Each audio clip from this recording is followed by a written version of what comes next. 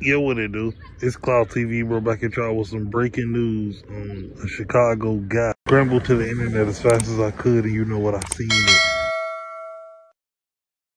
Yo, what it do? It's Clout TV, bro. Back at y'all with some breaking, crazy, heinous news, man. Some Father's Day news, actually, on a Chicago guy, a drill rapper at that, that goes by the name of a hundred stacks a lot of people been tagging me like, yo, Clive, you heard what happened to 100 stacks?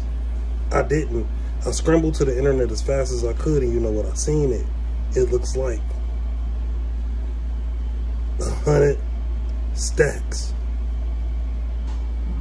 has been shot and killed in front of his kid in Chicago, Illinois on Father's Day.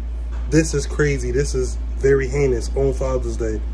You know, a lot of people on Father's Day, they barbecuing, they got the grill going, they got their radio playing, playing, they spending time with their kids, you know, celebrating being a father, celebrating their kids, you know.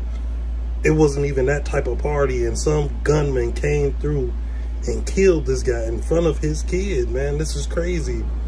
It's very, very heinous. It's disturbing. I don't know what the heck is going on in Chicago. They are the murder capital right now. Uh, a weekend of violence, over 70 murder within 70 hours. This is crazy. This man tragically lost his life in front of his kid, man.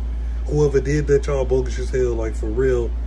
Uh, you could at least waited to, you know, uh, we don't want to see anybody pass away, but you could at least have respect for this man's children. You know, uh, it's a lot of mothers that's crying, you know, this year for Father's Day a lot of fathers has been taken out the game. Like, it's just so sad, man. My condolences go out to his family, his children, uh, his baby mama. You know, it's just so sad. All three of his baby mamas.